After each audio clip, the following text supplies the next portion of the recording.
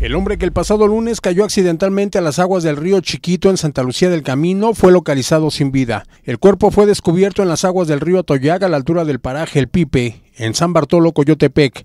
Jesús Juárez Mora, de 55 años de edad, vecino de la colonia del Bosque, fue buscado intensamente por su familia e integrantes del escuadrón Oram que recorrieron más de kilómetro y medio por el cauce del río Chiquito. La búsqueda se intensificó en el tramo cercano a la colonia Aquiles Cerdán, El Rosario, San Antonio de la Cal y Santa Cruz, Jojocotlán. Jesús Juárez Mora murió por asfixia por sumersión en agua. Luego del rescate del cuerpo a cargo de bomberos, el agente del Ministerio Público procedió al levantamiento de los restos. Con información de MBM Televisión.